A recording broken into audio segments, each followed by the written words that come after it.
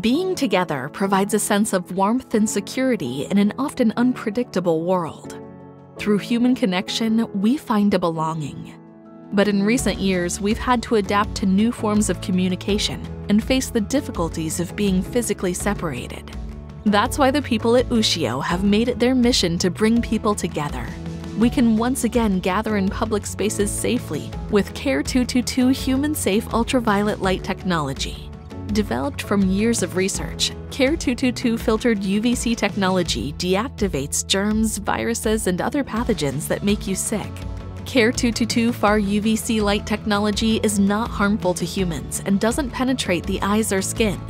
When the CARE 222 far UVC light is turned on, it targets pathogens in the air, on surfaces, and deactivates them, making it impossible for germs to multiply and spread. This effectively neutralizes viruses and bacteria, making it safe for us to touch surfaces and gather without the risk and fear of illness. CARE 222 far UVC technology can be used in hospitals, schools, offices, airplanes, and anywhere people gather.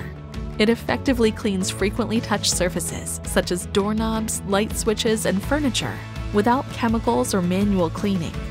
By using CARE 222 far UVC light technology to neutralize viruses from spreading, we create cleaner and safer public spaces, allowing us to once again be together in those moments that matter most.